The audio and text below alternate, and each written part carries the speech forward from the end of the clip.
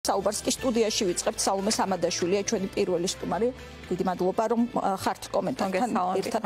დავიწყოთ ცვლილებებით რომელიც შემოგთავაზეს დღეს ხელისუფლებიდან. პროპორციული არჩევნების ზოგადად დიდი სიკეთეა. უბარიერო მithumetes პარტიულ მრავალფეროვნებას უწყობს ხელს ამაზე ერთხელ გვისაუბრია. რატომ არ შეიძლება იყოს დღეს და ამ კონტექსტში ეს თემა ინტერესის საგანი? ხო ნუ თამარ პირველ პირველ რიგში ალბათ მსჯელობის საკითხია უბარიერო არის მიზანშეწონილი თუ ბარიერის დაწევა. ეს მე ვფიქრობ რომ ესე ცალსახ ხათ არ არის რომ მაინც და მაინც უბარიერო სისტემა საუკეთესოა, მაგრამ ჩვენ ამ საკითხამდე საერთოდ სანამ მივალთ უნდა გვახსოვდეს, რომ დღეს, როდესაც ჩვენ საუბრობთ შეთანხმებაზე, შესაძლო შეთანხმებაზე ხელისუფლებასთან, ჩვენ საუბრობთ იმგვარ შეთანხმებაზე, რომელიც შეეხება საერთოდ ქვეყანაში პოლიტიკური სისტემის საფუძვლიან შეცვლას და გადახედვას. ამიტომ, სანამ ჩვენ მივალთ ისე დეტალელებამდე, როგორიც არის შესაძლო საკონსტიტუციო ცვლილებები, ანუ მე იმის თქმა მინდა, რომ მე იმას კი არ ვამბობ, რომ ზოგადად აპრიორი უარყოფითი დამოკიდებულება მაქვს საკონსტიტუციო ცვლილების თაობაზე. ჩვენ თავარ საკითხებზე უნდა შევთანხმდეთ. რა არის ეს მთავარი საკითხები? აქ არის ორი მიმართულება. ერთი ეს არის ის, რომ ქვეყანაში პოლიტიკური გარემო იცვლება და ჩვენ უარს ვამბობთ პოლიტიკური ნიშნით მართლმსაჯულების განხორციელებაზე ამ ქვეყანაში. და ეს პირობა უნდა დადოს და ეს პირობა უნდა შეასრულოს მართლმა გუნდმა. ამაში იგულისხმება როგორც პოლიტპატიმარი გიორგი რურუას გათავისუფლება, ასევე ზოგადად შეთანხმება პოლიტპატიმრები და ვადამდელი არჩევნები, ეს რაც ვიცით, ეს რაც არის მთავარი პირობა. რატომ არ ვიხილავთ ამას ამ კითხვას რომ დაუბრუნდეთ და საინტერესო იყო თქვენი რეპლიკა უბარიერო თუ ბარიერიანი ეს კიდევ საკითხავია სააკაშვილის განცხადება გამახსენდა მაშინ როცა ივანიშვილმა შემოგთავაზა პროპორციული და უბარიერო ამბობდა რომ ამას თუ არ ვწდება ისულელი თუ დათანხმდება ეხლა. არა, ეს სხვათაშორის ნაციონალური მოძრაობის წინააღმდეგ იყენებენ ამ არგუმენტს, რომ პატარა პარტიების გაძლიერების სურვილი არ აქვს ამ პოლიტიკური დემაგოგია, იმიტომ რომ ნაციონალურმა მოძრაობამ დაუჭირა მხარი მათ შორის იმ შეთანხმებას, რომლის თანახმადაც ჩვენ მივიღეთ ეს პროპორციულ ნაწილში. უბარიერო ფაქტიურად. ბუნებრივი ბარიერი უბარიერო არსებობს ბუნებრივი ბარიერის სისტემა. აქ პარტიული ინტერესები არაფერ შუაში არ არის. ზოგადად კითხვის ნიშანი არის რამდენად ღირს დაქუცმაცება ამ ამგვარად პოლიტიკური სპექტრის რო საერთოდ ბარიერი არ არსებობდეს ბუნებრივი ბარიერი იყოს საპროპორციული არჩევნების სისტემაში. და სწორედ ამიტომ ფაქტიურად უმრავლესობა ქვეყნებს დემოკრატიულ სისტემებს აქვთ რაღაცა სახის ბარიერი პარლამენტში მოსახვედრად. დაუჭირეთ მხარი ამ შემთხვევაში რას გულისხმობ მე გულისხმობ რომ მოლაპარაკებებში ნაწილში არა კეთდება. სწორედ ამიტომ იქ მივდივარ მე საიდანაც დავიწყე რომ ჩვენ მხარი დაუჭირეთ ამ მოდელს მოლაპარაკებებზე და კენჭისყრაში რატო ვერ მივიღეთ მონაწილეობა იმიტომ რომ გიორგი რურუა ჩატოვა ხელისუფლება მციხეში. ამიტომ სანამ ჩვენ დავიწყებთ საუბარს პოლიტიკური სისტემის რაღაც გაუმჯობესებაზე თუ რეფორმაზე. ჩვენ კიდევ ერთხელ ვამბობთ, რომ უნდა ფუნდამენტურად რამოდენიმე სხვა საკითხზე შევთანხმდეთ. ერთი ეს არის პოლიტიკური გარემო, იმიტომ რომ შეუძლებელია რომ დღეს დღესაც მათ შორის მართველი გუნდი ემუქრებოდეს და მუქარის ენით ესაუბრებოდეს ერთიანი ნაციონალური მოძრაობის თავმჯდომარეს ნიკამელიას მოვისმინეთ დღეს მართველი გუნდის განცხადებები და შეუძლებელია რომ ამის პარალელურად ჩვენ საუბრობდეთ შეთანხმებაზე. შეუძლებელია რომ ჩვენ ხედავდეთ რომ ისევ და ისევ საარჩევნო სისტემის რეფორმას რაც შეეხება საუბრობენ იმაზე რომ თურმე არანაირი პასუხისმგებლობა არავის არ ეკისრება 31 ოქტომბერს ჩატარებულ არჩევნებზე და მათ შორის თამარშვანიას და ჩვენ მოვიტყუოთ თავი რომ ეს ხელისუფლება მზად არის რაიმე შეთანხმების შეცვალოთ პოლიტიკური გარემო როცა ამბობთ ამას ამბობს ფაქტობრივად ყველა ფლანგზე ყველა პოლიტიკოსი გზები არის მეთოდები განსხვავებული. გირჩი ახლა ცდილობს მოირგოს ფასილიტატორის როლი შემრიგებლის და ნაციონალურ მოძრაობას ბოლომდე ხედავდნენ ერთ-ერთ მთავარ მოკავშირედ ხიდებს არ წოვდნენ აი დღეს დღევანდელი მოცემულობით როგორ არის გირჩთან ურთიერთობის თემა? ისულიყო რომ ალეკო ელისაშვილის შემთხვევაში სააკაშვილს დაველაპარაკებით თუ საჭირო გახდება ასე ეს კომიკური ეს არის კომიკური ვითარება იმიტომ რომ მე შემიძლია ვთქვა რაც თქვი ბატონი ელისაშვილის შემთხვევაშიც მე მას თავს ვიკავებდი მაქსიმალურად მისი გაკრიტიკებისგან უბრალოდ ვამბობდი რომ თუ მას სურს პარლამენტში შესვლა და შევიდეს და გირჩსაც შემიძლია იგივე ვუთხრა თუ მათ სურთ პარლამენტში შესვლა განაცხადონ რომ შედიან კომიკურ განცხადებებს ნუაკეთებენ იმიტომ რომ შერიგება კი არავის არ უნდა ქართულ ოცნებასთან. ჩვენ გვინდა პოლიტიკური სისტემის რეფორმა ქვეყანაში. თუ გირჩს არ მიაჩნია რომ პოლიტიკურ სისტემას რეფორმა სჭირდება. თუ გირჩს არ მიაჩნია რომ პოლიტიკური ნიშნით მართლმსაჯულება ქვეყანაში ხორციელდება შევიდეს მაშინ პარლამენტში. თუ გირჩს არ მიაჩნია რომ არჩევნები გაყალბდა 31 ოქტომბერს და პასუხი უნდა აგოს. მათ შორის დიახ ხალბატონმა თამარ ჟვანიამ ამ არჩევნებზე და ხელისუფლებამ უნდა გადადგას ქმედითი ნაბიჯები, რომელიც საერთოდ ქვეყანაში არჩევნებს შინაარს დაუბრუნებს, ხო? მაშინ შევიდეს ისინი თუ არიზიარებენ ამ ასე ვთქვათ პოზიციებს და შევლენ ისინი მაშინ პარლამენტში და გასაგები იქნება საზოგადოების მათი მაშულიშვილო საქმე ამ სიტყვებს იყენებენ არის სწორედ ეს.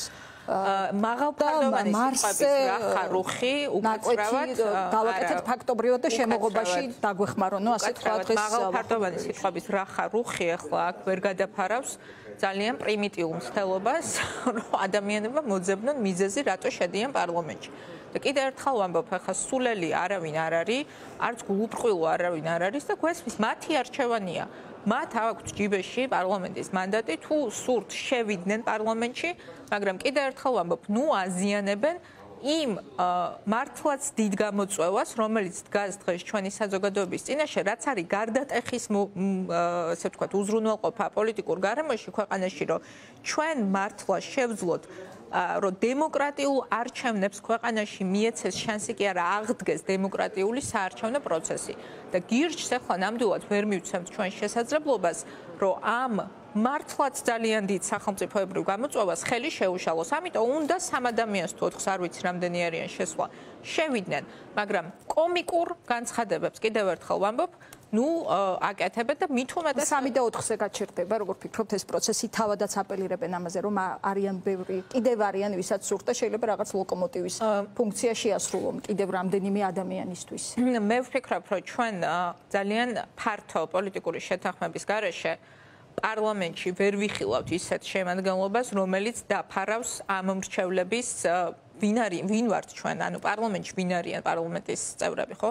წარმოადგენენ ამ მომრჩეველს ამიტომ არაფერს არ ცვლის 1 2 3 4 ადამიანის პარლამენტში შესვლა არაფერს არ ცვლის იმ თვალსაზრისით, რომ წარმომადგენლობითი ფუნქცია ამ პარლამენტს არ ექნება. პარლამენტში არ იქნება წარმოქმნილი ქართველი ამომრჩევლის და ქართველი ხალხის ფაქტიურად უმრავლესობა და ეს ვითარება იქნება რეალური პოლიტიკური კრიზისი, რამაც შექმნა ამ ვითარებამ შექმნა და ამ ვითარებას ვერ განმუხტავს თითოეულ ადამიანს. სხვა თემაზე მინდა გადავიდე. თუ 10 პარლამენტში შესვლა. ძალიან საინტერესო იყო უკაცრავად მიხელ სააკაშვილის განცხადებაზე დღეს უმრავლესობის კომენტარი ირაკლი ზარქუამ თქვა რომ აი ზელენსკი მიქნებ ლაგამი ამოდოს სააკაშვილს ეს ეხებოდა მესამე პრეზიდენტის სიტყვებს და უმორჩილებლობაზე რა განცდა გაგიჩინეთ ამ განცხადებამ? ერთგვარად ისტორია ხომ არ შეიძლება განმეორდეს გვახსოვს კიევიდან ელჩის ჩამოყვანა და განმარტებების ხონა და ასე შემდეგ. მართვალ გუნდს და უმრავლესობას პარლამენტში უნდა ესმოდეს რომ პოლიტიკურ დესტაბილიზაციას და არასტაბილურობას პოლიტიკაში იწევს სწორედ ის, როდესაც ქვეყანა ქვეყანაში ხალხის სახელით იღებენ გადაწყვეტილებას იმ ის ხალხი, რომელსაც არ აქვს საზოგადოებრივი ნდობა, აი ეს ვითარება, რომელიც დღეს არის შექმნილი ქვეყანაში. ამიტომ სტაბილურობის შენარჩუნების მათ შორის ქვეყანაში ერთადერთი გზა ეს არის დემოკრატიული არჩევნების ჩატარება, ეს არის პოლიტიკური ნიშნით მართლმსაჯულების შეწყვეტა, იმიტომ რომ ადამიანებს დაუბრუნდეთ განცდა რომ მე თუ მომინდება რომ არ ვიცი რომელიღაც პოლიტიკურ ძალას ხარი დავუჭირო ან დავაფინანსო დამოუკიდებელი ტელევიზია მე ამისთვის არ დამიჭერენ. აი ეს ამ გარემოს შექმნაზე არის საუბარი და არის საუბარი იმ გარემოს შექმნაზე სადაც ადამიანს ექნება განცდა რომ ხმას ვისაც მისცა ის ადამიანი იღებს პასუხისმგებლობას მის არის თუ არა დაუმორჩილებლობა ის საშუალება რომელიც მიგახწევინებთ ამ ბიზნესს თვითონ სააკაშვილის განცხადება არანაირი მნიშვნელობა არ აქვს. რა განცხადებას აკეთებს ან მიხელ სააკაშვილი ან რომელიმე სხვა პოლიტიკური ლიდერი. იმიტომ რომ ჩვენ ვხედავთ რომ აი აცთენაა ხო? ანუ საზოგადოების ძალიან ფართო ფენებს და ბევრ სხვადასხვა სოციალურ ჯგუფს. არ აქვს ნდობა ხელისუფლების მიმართ, ხო? ჩვენ ნახეთ, ანუ გამოსვლები სხვადასხვა ჯგუფებს ჰქონდათ, ჰქონდათ ბიზნეს, კონკრეტულ ბიზნეს ჯგუფებს, ჰქონდათ სხვადასხვა მოქალაქეებს, ეს პროცესი გრძელდება. ეს ნიშნავს, რომ ნდობის ხიდი არის ჩატეხილი ხელისუფლებას და საზოგადოებას შორის. ამიტომ ამ ასე ვთქვათ, ვითარებიდან გამოსავალი და განმუხტვა ამ ვითარების ერთადერთი გზა ეს არის დემოკრატიული არჩევნები და ამ პროცესში ახლა რამდენი ხელიც თითი არ უნდა გაიშვირონ ვიღაცის მიერ გაკეთებულ განცხადებებთან მიმართებაში ეს არ არის მთავარი ვინ რას ამბობს. მთავარია ის რეალობა პოლიტიკური, ეკონომიკური და სოციალური, რომელიც არის დღეს ქვეყანაში. ბოლოს კითხავთ მოკლედ ნიკა მელიაზეც, რომელიც არაპირებს გირავს გადახდას, რამდენად სწორია სტრატეგია ამ უკიდურესად დაძაბულ ვითარებაში სხვათა შორის ეკა გიგაურმაც თქვა დღეს, რომ კანონის მოთხოვნა უნდა შესრულდეს, კანონი ითხოვს გირაოს გადახდეს. ჩვენ ვიცით, რომ ნიკამელიასთან დაკავშირებით მათ შორის არამხოლოდ ნიკამელიას საქმეზე, არამედ სხვა მიმდინარე საქმეებზეც ჯერ კიდევ 8 მარტის შეთანხმების ფარგლებში ეს შეთანხმება რას გულისხმობდა? ეს შეთანხმება გულისხმობდა კონკრეტული ადამიანების ციხიდან გათავისუფლებას და სამართლებრივი დევნის შეწყვეტას ოპოზიციის ლიდერებისა და მასმედიის წარმომადგენლების წინააღმდეგ. ამიტომ აქ კიდევ ერთხელ მინდა და ხაზგასმით თქვა, ირღვევა ის პოლიტიკური შეთანხმება, რომელიც ჯერ კიდევ 8 მარტს იქნა მიღწეული ხელისუფლებას და ოპოზიციას შორის. ამიტომ თუ ვინმე ძაბავს ვითარებას, თუ საკუთარი გადაწყვეტილებით, თუ ვინმე აღრმავებს კრიზისს არსებულ ვითარებაში, ეს არის სწორედ ხელისუფლება და მათი გადაწყვეტილება, რომ განაახონ ნიკამელიას მიმართებაში. საქმეზე იყო მსგავსი, როცა ერთხელ მან გადაიხადა გირაო თითქოს აირიდა თავიდან ეს გარკვეულწილად ესკალაცია და ამიტომ არის საინტერესო, ასე ცუდად შეიძლება და აღქმულიყო ელექტორატის მხრიდან. მე შემიძლია ვთქვა, რომ ამ შემთხვევაში ესკალაციას პრობლემის და გაღრმავებას პოლიტიკური კრიზისის, მათ შორის პოლიტიკური დევნის პრობლემის, ასე ვთქვათ, გამძაფრებას ახდენს სწორედ ხელისუფლება, იმიტომ რომ სწორედ მათ ხელშია დღეს ყველა სამართლებრივი პოლიტიკური და სხვა ბერკეტები. პოლიტიკურ მოტივაციას ამ საქმეში ჩვენ ეს საქმე არ გახდეს კიდე დამატებით. ძალიან ძიმე წინაღობა აი იმ პოლიტიკურ კრიზისში, რომელშიც ქვეყანა არის შესული. ძალიან დიდი მადლობა. სალომე სამადაშვილს უსმენთ პირდაპირ ეთერში ნაციონალური მოძრაობის ერთ-ერთ ლიდერს.